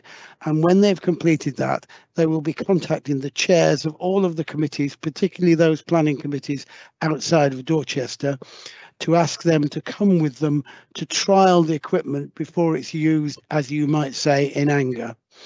Can I make a point through you, Chair, that this will not be straightforward. And whilst people will have issues with the technology, there are actually issues with the logistics rather than just the technology. Officers have tried it and have found that there are two uh, challenges that they have faced. The first is that there is sometimes a time delay between the response of those people who are communicating virtually, i.e. from a screen, uh, there's a time delay in their response in, in contrast to the immediate responses of those people in the room. And the second is, and, and this it wasn't obvious until it was noticed by a number of people, the the requirement to chair the meeting is made significantly more difficult when you have to pay attention to a screen with a number of people and the people physically in the room. And it will need chairs to really, really be on their top form to make sure that people are properly looked out. Um, yes, I, I, I will send an email out, Councillor Ezard, to update and give more information on this. Um, I wasn't sure that we discussed whether it should be in the report. We eventually thought it would be better for me to talk about it as a contextual item, but I think you're right. I think members ought to know that. So in summary, we hope to be by mid-November in a place where we can run hybrid meetings off-site as well as on-site. However, there will be some testing both internally, Democratic Services and IT, and then there will be a note going out to chairs so that we will set up a dry run where chairs can actually go to a site, try it, and there'll be people acting as, as external uh, virtual attendees, etc. But can I just say that this is likely to be quite lumpy and is unlikely to be absolutely brilliantly smooth from day one. But there is a there is a balance and i want to get this going as soon as possible. I just ask people to be a little bit patient and a little bit forgiving. Sorry to take rather too long chair. I thank you very much for that. Thank you very much, councillor Wharf. I'm trying to see where we are. Graham Carr Jones. Um, councillor Carr Jones. Thank you, Chair. Um, Chairman, even in a pre-COVID world, the, the members area and the committee rooms at County Hall were not fit for purpose in the 21st century. Frankly, those areas were behind the times 30 years ago in the previous Dorset County Council days. Many of us here have come from the modern council offices and the settings at South Walks House, where windows are opened with a flick of a switch, to a county hall, a mausoleum of a building which is quite honestly well past its sell-by date. The committee room's 1970s Crittall windows that require a boat hook to open them are nigh on impossible for someone like myself who has an upper limb disability. The bunker, aka the committee room one, has little ventilation, barely any natural light, and frankly, it's akin to a dungeon without whips and chains. None of our officers work in the old part of the building, save when serving committees. The courts have long gone, even the union, union office is deserted. So if we don't expect our officers to utilise the space, why would we? Why would it differ for us as members? Access is antiquated and unwelcoming. The council chamber, in my view, should be consigned to the history centre. We are supposed to be a modern, forward-thinking council and being expected to work in an environment that is a relic from the 1950s and all that goes with it does not chime with that sentiment. Madam Chairman, the gentlemen's toilets are like a scene from the film If. The only thing missing there is the Izal medicated toilet paper. This, of course, will not mean a lot with uh, people under 45. But post, but in the post-COVID world, our lavatories need to be a safe place to use. I don't expect anyone wants to use the urinals either. Rather difficult in a socially distanced fashion, I'd suggest. So for me, the, the idea of large face-to-face gatherings in the business end of County Hall is like a sketch of Carry On Up the Council. I'm just waiting for Sid James and Hattie jo Jacques to appear to complete the joke. I do believe that Teams meetings are and, and time to be more productive. I certainly get more hours out of my day and my carbon footprint is greatly, greatly reduced. And I say this as a very keen V8 petrol head. However, given the knowledge uh, of the proposed changes and modernisation of said mausoleum, I will be supporting the return to face-to-face -face meetings once it is safe to do so. I am also, of course, more than happy to provide the facilities team the benefit of my knowledge as a real person living with a disability who has life experiences of just getting on with it. That's my offer, Chairman. Thank you. Thank you very much for that enlightening point of view, Councillor Carr Jones. Who do we have next? Councillor Starr. Councillor Starr, please. Thank you, Madam Chairman. It's just a small point um, that has just been touched on by Councillor Carr, really. Um, uh, uh, this recommendation is as good as it goes, but it doesn't say anything about provided that it's safe to do so. But you know, it's, it seems to be um, limited by uh, the fitment of the equipment and getting that working properly. But it's also, it, I know it, it, will still be done anyway. No, I don't think we'll be going back to meetings if the if uh, the outbreak break comes gets bad again. But I think it's an e- it's easy to um, to have the impression that the with COVID's all done, we're all good now. But it could come back, and I think there needs to be in this recommendation just a mention of the fact that um, health advice should be with us. Thank you, Chairman. Thank you very much, uh, councillor Starr. I'm sure all that will be taken into consideration if needs be. Um, who, Councillor Sutton. councillor Claire Sutton, please. Thank you, Madam Chairman. Um, I support the recommendation, although to, be- to be honest, with with some reluctance, I, I think I think Councillor Starr's point, you know, is a is a very important caveat. Um, and I very much appreciate um, Councillor Wharf's comments on a on a number of fronts, but um, nevertheless, I, I think there's something bigger picture about this. Actually, um, you know, whilst I understand the appetite of many members to return to in-person meetings, our priority is what best serves the interests of Dorset residents as opposed to, to ourselves, really. And um, local government has functioned in pretty much the same way for decades, but has adapted with considerable dexterity to the challenges presented by COVID, which, you know, we, we, we mustn't forget the things that we have learned. Um, while there are obviously downsides to virtual meetings, had tonight's meeting been held in person, based on a calculation by one of our highways managers, the marginal cost would have been around £2,400 and the carbon cost nearly 0.8 tonnes of CO2 emissions. Virtual meetings also make the role of counsellor more accessible to underrepresented groups, such as students, single parents, carers, and simply those who have a day job. I mean, hybrid is obviously the way the way forward, and and and, and I, I, I won't labour this, but obviously, you know, we, we need national government to enable us to to do that in a in a in a, in a legal way. But but but finally, um, for environmental and financial reasons, and to promote a more diverse council, I hope we will not return to the old way of doing things without reflecting carefully, really carefully, on some of the lessons we've learned. Thanks. Thank you, councillor Sutton. Councillor Lacey-Clarke. Councillor Lacey-Clarke. Thank you, Chairman. Uh, in fact, Councillor Sutton and Councillor Carr Jones have covered my points much more eloquently than I probably could have. So thank you. Everything I wanted to say has already been said. Thank you for that. Thank you. Um, councillor O'Leary. Uh, thank you, Chairman. Um, while I do sympathise with some of Councillor Carr Jones's points, um, I still think County Hall is a magnificent building. But in returns to getting back to face-to-face meetings, I think, um, can I just get clarif clarification that um, returning to face-to-face meetings is more of a priority than ensuring that the live streaming and the IT is up to date.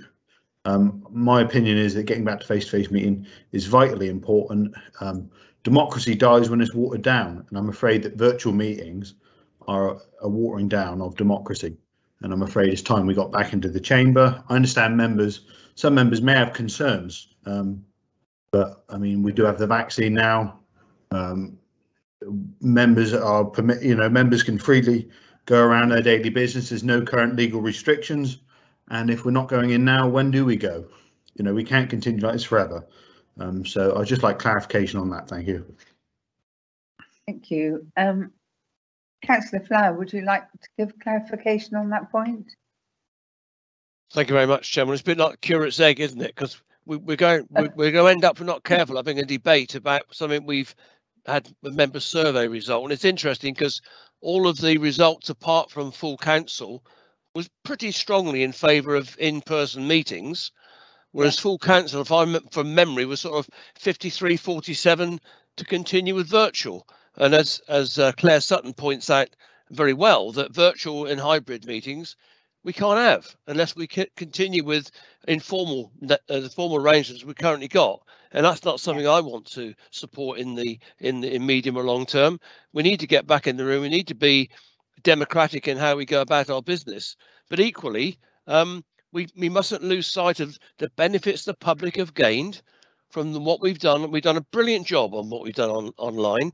And a lot of people have told me that in the street about they do bother to come and listen to meetings, which they didn't bother with in the past because it was always too difficult. It isn't anymore. We've invested in getting webcam equipment in to ensure that people do get the chance to to witness our, our meetings, and I think that's important. And I pick up um, the comment about safety. Um, there are opportunities to mitigate. You can't eliminate, but you can certainly mitigate risk. And anything you do, and you know, hand sanitizers. If you want to wear a mask, wear a mask. Um, but you know, the legislation is what it is at the moment. Um, Yeah. But yeah, we, we've set ourselves a target, Chairman, and and I'm I, I'm quite happy to stick with the recommendation that I've uh, put forward as an amendment to this evening. Thank you very much, councillor Flower. We will hear next from councillor Shane Bartlett and then councillor Molly Rennie, and then we will vote. Four, four more ones. Thank, thank you, Madam Chairman, um, for allowing me to speak. Uh, I was a little bit uh, apprehensive and concerned when I heard that there was going to be a, a revised recommendation just now um, on this agenda item, but having read the original recommendation and reading the new one that's on the screen, um, I do feel it is far more concise and far more clinical in its approach, and I am a lot. I am I'm quite happy with this. Uh, this taken in conjunction with the next agenda item we've got dispensation for non-attendance at committee meetings, I think um, will help those councillors um, who've got a reduced or compromised immune system or other health implications either with themselves or with their partners or somebody else that's in in their household at home that they have direct contact with. So on on in respect of all of that i'm i'm quite happy with this recommendation as it stands.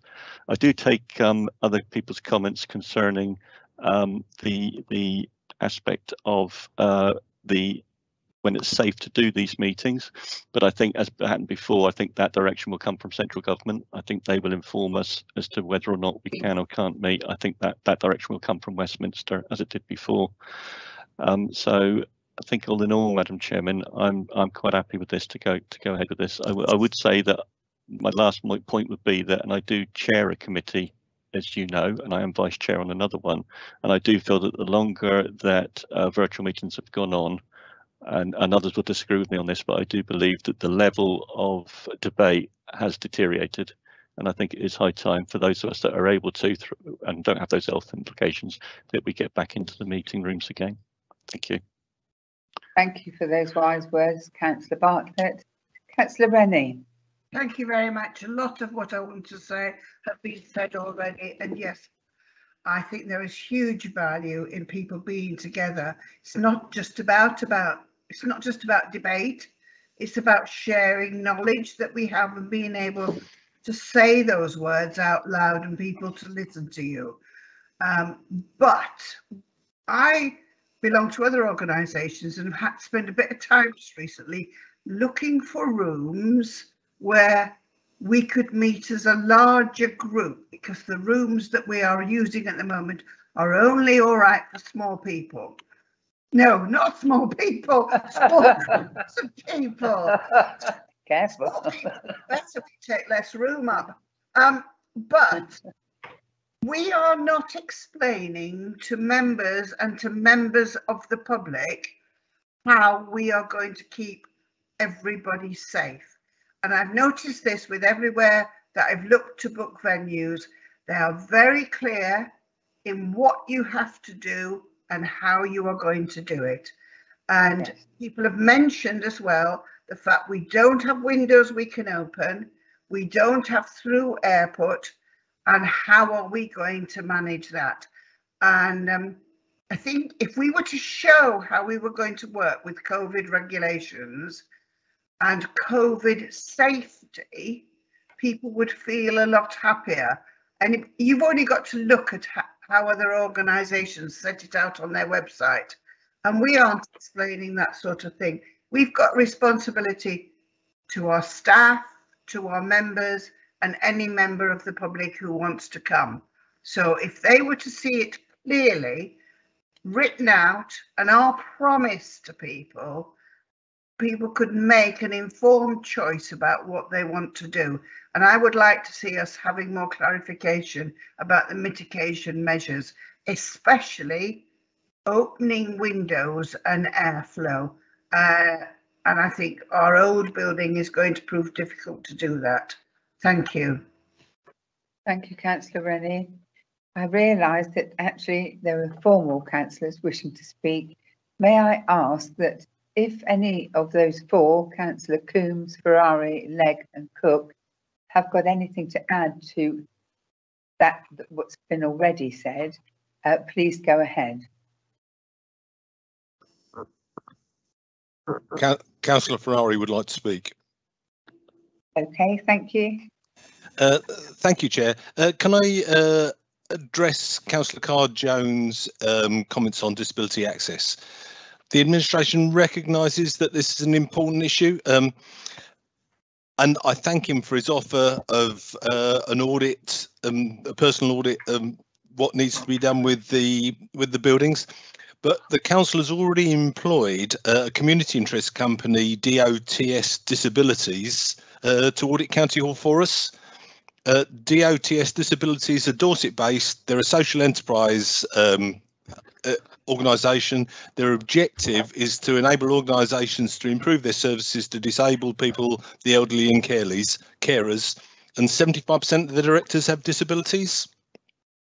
They came back with a list of recommendations, making the doors automatic, improving toilet access, making the old courtroom fully a fully accessible meeting room and the council chamber um, overflow, dedicating chamber space for wheelchair users. There's a, there's a long list. The budget for these changes has already been passed by cabinet uh, and the works will soon be underway. Thank you. Thank you very much. Um, Coombs. Councillor Coombs, please. Good evening, Chairman. Uh, thank you very much for allowing me to speak. Um, I wanted to speak to the motion on the table as Chairman of the Eastern Area Planning Committee. And given the comments that Councillor Wharf has made, um, I now have the confidence to support the motion as proposed and I will be voting in favour of the motion. Thank you very much, Madam Chairman. Thank you, Councillor Coombs. Councillor Robin Legg. Councillor Robin Legg, please. Good evening, everybody. Um, I'd like to say in response to Councillor Carr Jones that I think that was one of the best speeches that's been made uh, since the inception of the authority. I think it was a very powerful speech.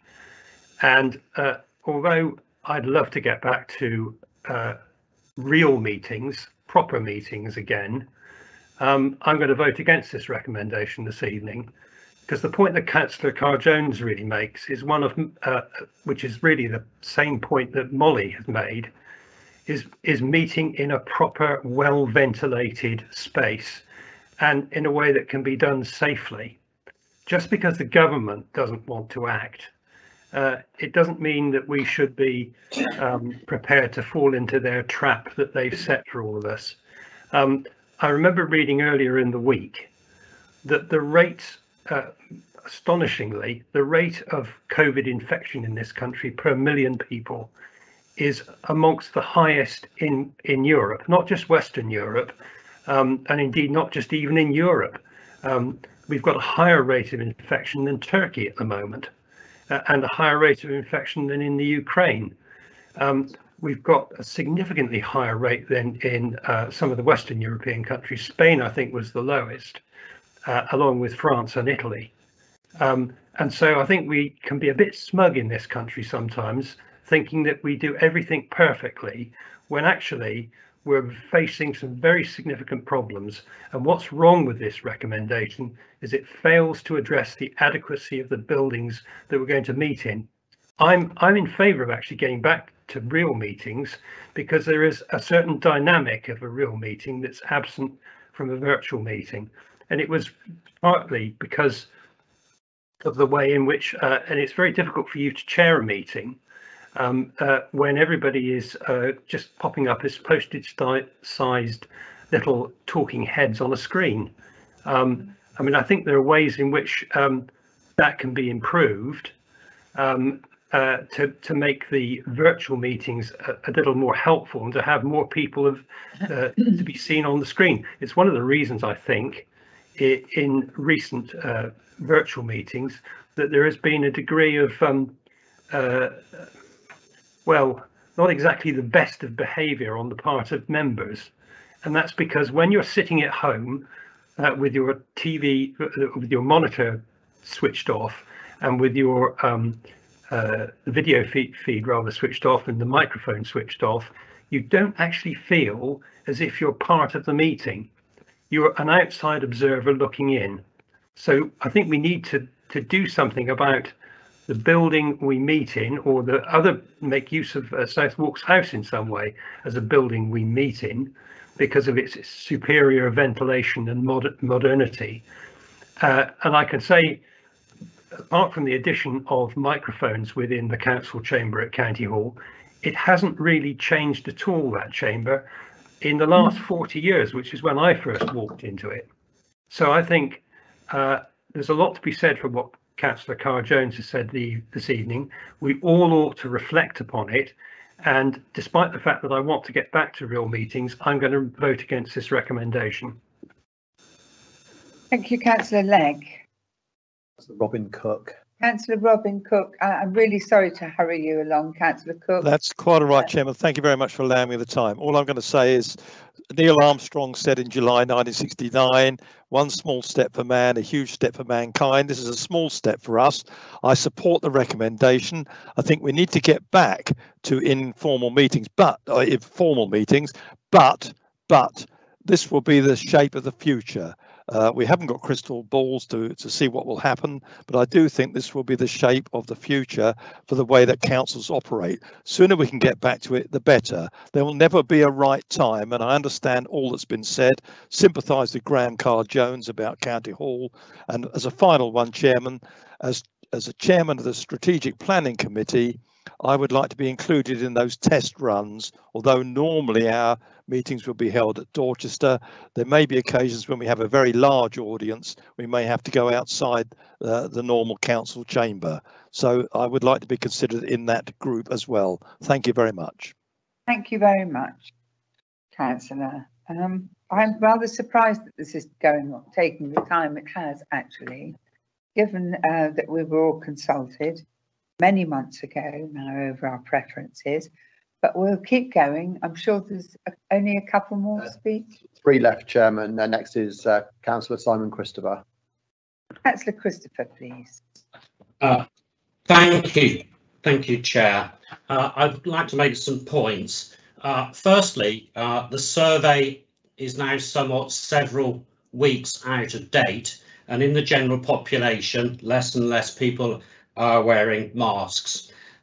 I've undertaken a survey of the parish councillors in the Marshwood Vale ward, we're the parish councils, and almost to a man, they are saying that we should have returned to face-to-face meetings already. And I think members should bear in mind when we talk about an enclosed space, it is somewhat ironic that we are not having a face-to-face meeting this evening when there are hundreds of people watching the James Bond film just a few hundred yards down from County Hall in the two cinemas. Thank you, Chair. Thank you very much, Councillor. Lastly, is it? Uh, second from last is Councillor Cherry Brooks. Thank you, Councillor Brooks. Yeah, thank you, and I I um I appreciate uh, the opportunity to speak. I realise that uh, that we have already um, given our feedback. We've I my view is that we've adapted well to working remotely through the pandemic, um, and uh, we are, we know through some of the work that we've done with highways that we actually have made. Uh, some significant impact on the environmental issues. So I think I think that's been good. But the downside, obviously, is that there are no breaks between meetings now. So maybe some training uh, on, of people how to set up meetings remotely so that it might ease the situation, particularly in relation to um, mental health issues. Uh, obviously, working working without a break all day every day um, is, is not a good thing. But one important point that I want to make is that I actually consider myself to have a compromised immune system. During the COVID outbreak, I was classed as um, vulnerable. But the decision is mine. It's not anybody else's. If I want to go to a face-to-face meeting, then I, you know, hold that meeting and I will make the decision about whether I attend or not. And and I think we sh- don't assume uh, that it, that we need to make all these other um, adjustments. If somebody has a problem uh, with attending the meeting, then then fine, they can make their own arrangements. But I I think it almost sounds like an excuse to me that people might have um, compromised positions. Um, and I just, I really just wanted to make that point. But I will be voting for this. Thank you. Thank you very much, councillor. Um, last one is councillor David Tooke. Lastly, we have councillor David Tooke and then we will go to the vote. Thank you. Thank you for the time, Chair. Um, last and, and, and probably least, um, I we've had several months looking at this. COVID's been around for 18 months, two years nearly. Um, we've talked about ventilation, we've talked about opening windows. Um, a lot of schools have faced similar problems and they've put in mechanical ventilation and filtration systems. Have we progressed anywhere with, with doing that for our own committee rooms? And that's my simple question. Thank you. Thank you very much. I don't know the answer. We'll see if we can find out. Excuse me. Um, Councillor Flower, could you help us with that one? Well, I thought it might come my way, Chairman. Thank you. Um, what I what I would say to uh, David Tooke is that I mean Tony Ferrari might be closer to this than I am, but I think the point about ventilation is well made. The point about mitigation in terms of health, you know, health and safety and so on is also well made.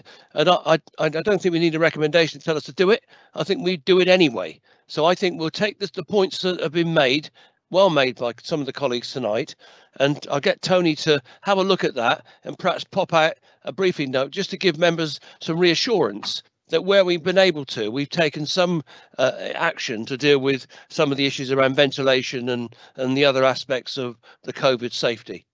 Okay, Chairman. Thank you very Thank you. much. Thank you, Spencer. Flower. Thank you. Okay, Susan, would you like to um, post up our options, please? Thank you, Chairman. So the voting form is now in the chat bar. So, and just for clarity, the recommendation that members are voting for, voting for tonight is the one that is showing on the screen. And just to remind any member who does have a technical difficulty, please could you wait until I ask for those votes at the end of the electronic voting. Thank you.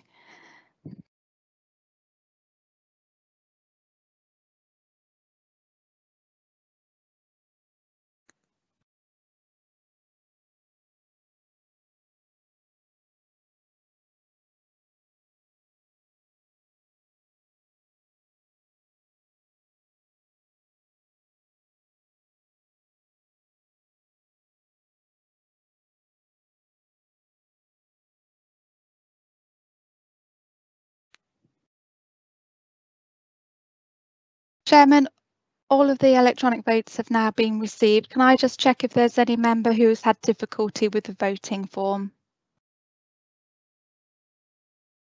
No, I don't see any messages in the chat bar, in which case I can tell you that the uh, vote in favour of the recommendation is 59, against 10 and one abstention. Therefore, the minded to vote is in favour of the recommendation. Thank you very much. Uh, I don't know if you took my vote with that or not. Susan. I think we were on mute at the time, Chair, Oh. unfortunately, yes. Okay, in that case, Chairman, if, would you like to tell Could me you how add, you could you add one, please, to Of um, course. support? Thank you. In in which case the votes in favour were 60 votes in favour of the recommendation. Thank you very much. I have an apology to make. Um, when I, excuse me, last asked Mr. Aidan Dunn to take, make the formal decision under delegated powers, I didn't actually introduce him by title. Aidan is the Executive Director for Corporate Development and Chief Finance Officer.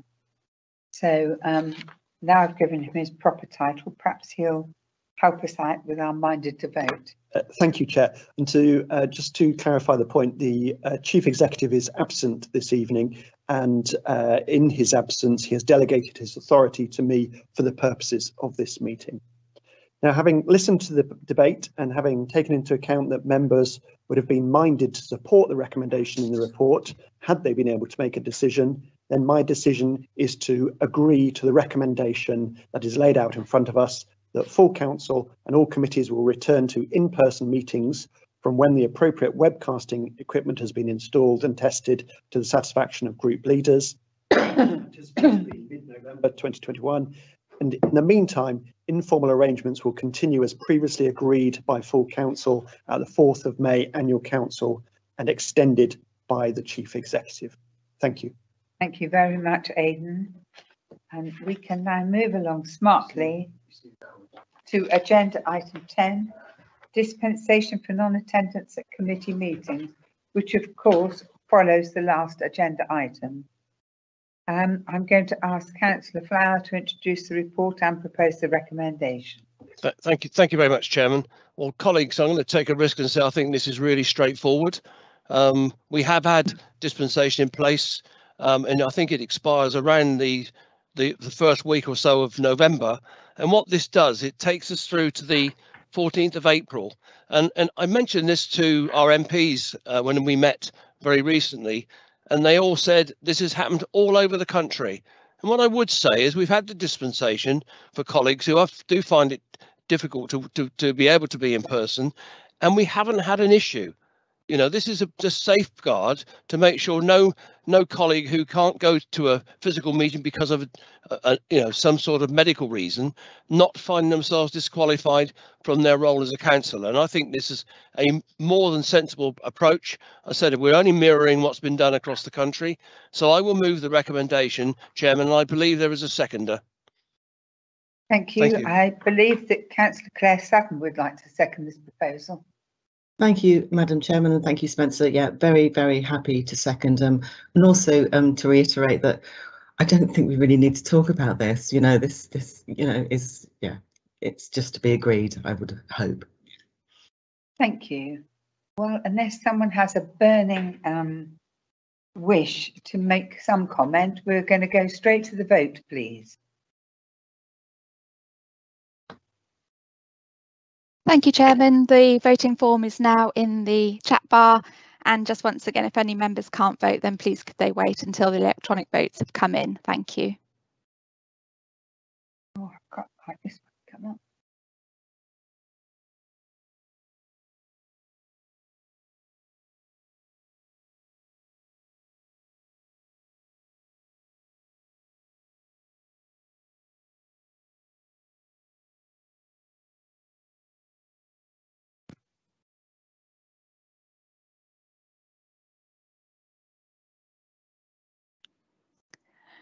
Chairman, I think all the electronic votes have uh, been received now. Can I just check if any member has had a technical difficulty? No, in which case uh, the votes in favour of the uh, recommendation are 71 in favour and against two votes. Therefore, there is a minded to decision to um, carry the recommendation. Thank you. Thank you, Susan. Over to you then, Aidan, if you do this for courtesy. Thank you. Thank you. Uh, having listened to the debate uh, and having taken into account that members would have been minded to support the recommendation in the report, had they been able to take the decision, then my decision is to agree to the recommendation as laid out in the paper in front of you. Thank you. Very much. In her on agenda item 11, appointment of temporary member appointment of temporary members to parish councils. I'm going to ask Councillor Flower to introduce the report and propose the recommendation. Thank you, thank you very much, Chairman. Well, I think again, I, I'll take the risk of saying I think this is straightforward, if a little unfortunate, that a parish council finds itself in quorum because of re- recent resignations of councillors. But we have a duty as the upper tier uh, council to to deal with the uh, matters of the day in the parish until such times as that matter can be resolved. So you, you see the, I'm not going to read the recommendation, colleagues. You can see what the recommendation says. And um, I'll, I'll move the recommendation set out in the report, and I believe there is a seconder, Chairman. Thank you. Thank you very much. Um, I believe councillor Les Fry would like to second the proposal. Chair, yes, I will. Thank you. But can I let um, Councillor Emma Parker speak first? I believe she needs to speak first and I will come in afterwards. Absolutely. I was going to ask her to speak after you had seconded, but um, that's fine. Uh, you are seconding though, are you, councillor Fry? Yes, I am. I'm very happy to second this in, in order to ensure that democracy is maintained. Thank you. Thank you very much. Right. Thank you, Um, Madam- thank you, Madam Chair. Yes, Um, sorry. Um, uh, yeah, I was just like to say, I, Councillor Parker. Thank you. I just want to make um probably not a declaration of interest or, or of an interest that I was chairman of Winterborne Whitechurch Parish Council, which has been named on this. So I thought it was important that I I say that. And I was one of the people that resigned, and I do support the recommendation for this evening. Thank you. Thank you very much. Thank you. Thank you. Hmm. Okay.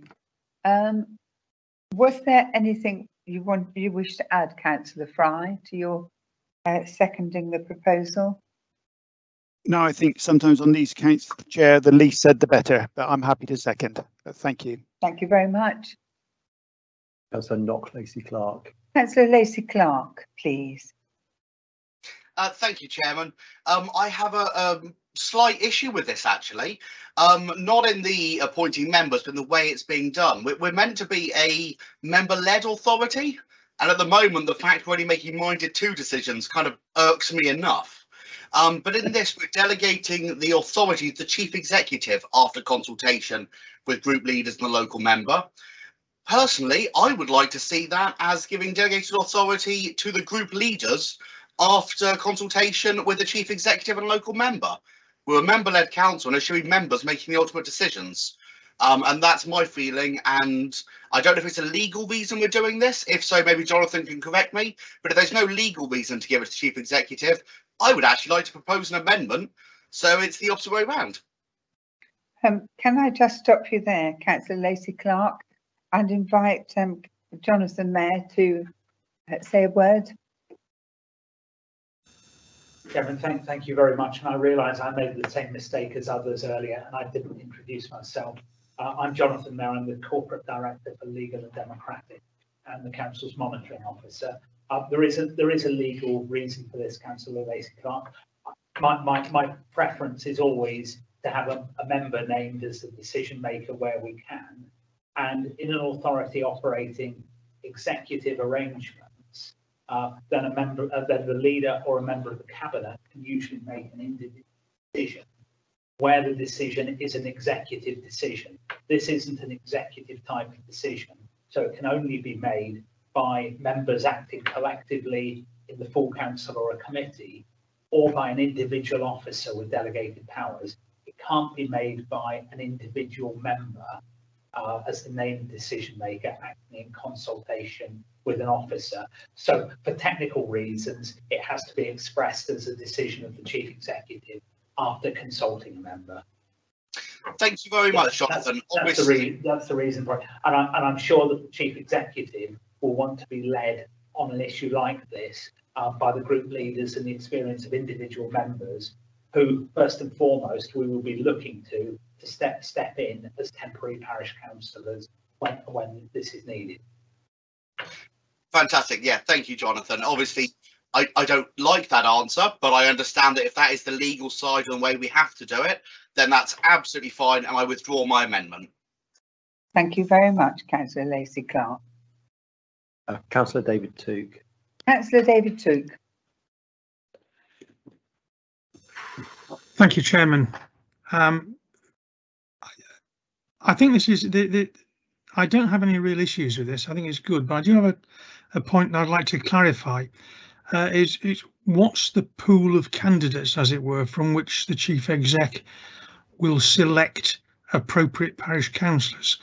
Were, so how are they going to be put forward? Can, uh, are people putting themselves forward? So normally in a co-option process, somebody would apply to be co-opted. Now I understand obviously uh, if the parish is non-quorate, um, they can't be co-opted, but it, would it be a similar process to actually identify who should be appointed um, at the discretion of the chief, chief executive? Thank you. Thank you, councillor Tooke. We'll ask Spencer Flower that question. Well, Chairman, it's it's it's. I take the point that um, uh, David Tooke's making, but I I think it's it's based on um, a process, and I'm going to refer to Jonathan because there is a clear um, legal process that we have to go through, and how we end up with temporary um, parish councillors. Now, can I ask through you, Chairman? Can we ask Jonathan to uh, explain that point, please? Chairman, the first point, if, if you're willing for me to explain this, is that I, would emphasise that these are temporary parish councillors, mm.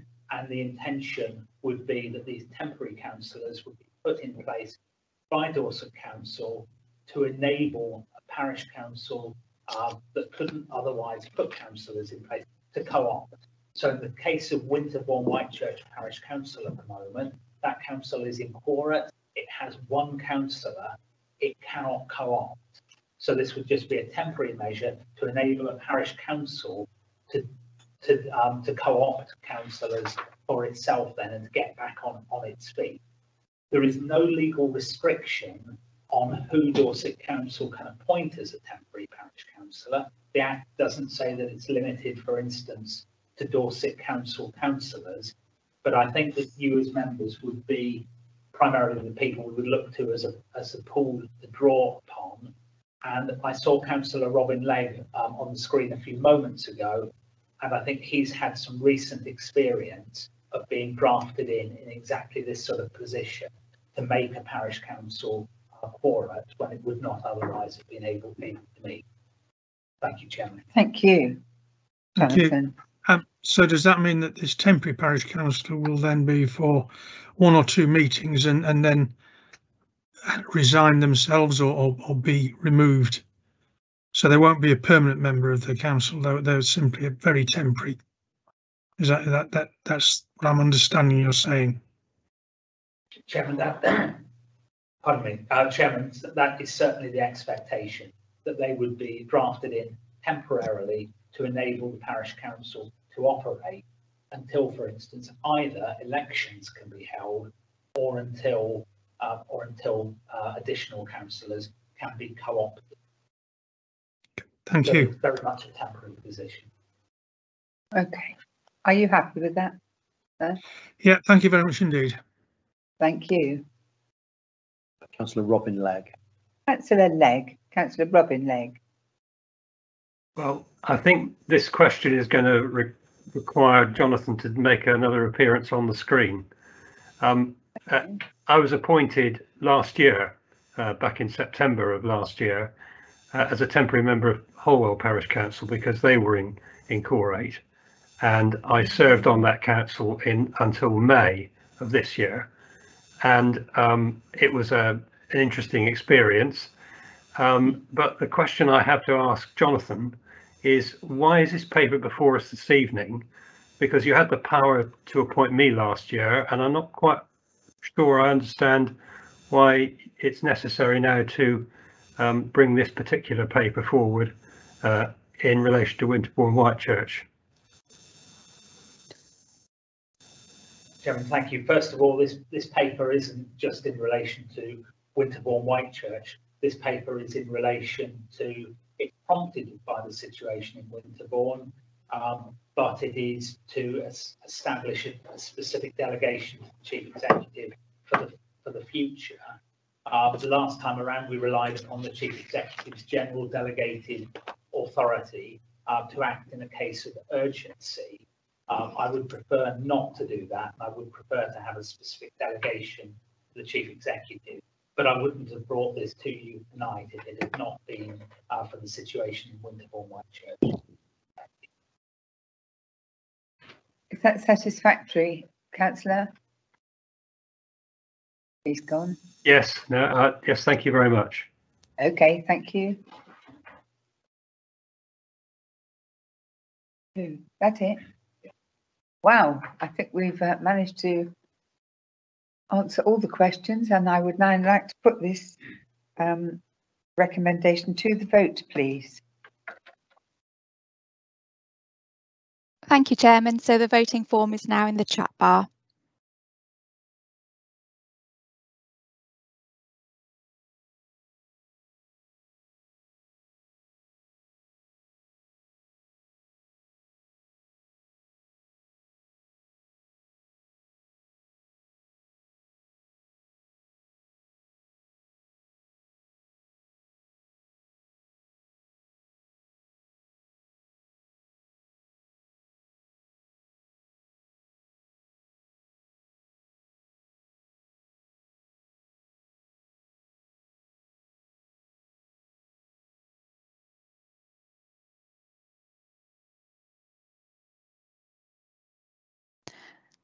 Chairman, I think all the electronic votes are now in.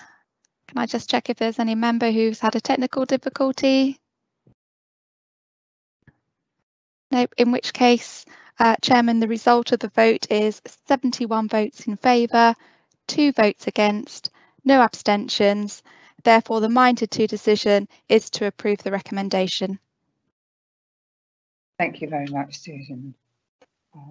It's been put to me that it wouldn't be appropriate um, that the delegated authority is given to the chief executive. Um, in fact, in this particular um, proposal that we voted through. So I'm going to ask Jonathan Mair, Corporate Director, Legal and Democratic, um, to um, follow the minded to vote and ask him to take formal decision under delegated powers. Thank you very much, Chairman. Um, thank you. I've, I've listened to uh, the members' debate of this item. There was more debate of it than, than I thought there would be.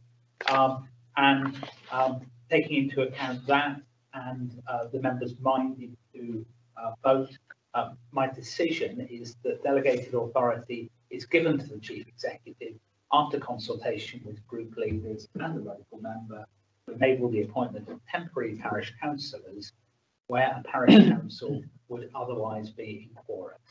Thank you very much, Chairman. Thank you very much, Jonathan. So we now move to agenda item 12, urgent items. There in fact are no urgent items. Um, agenda item 13 is exempt business and there is no exempt business. So at, at 2037, I'd like to close this meeting. Thank you for your attendance and uh, keep safe. Thank you.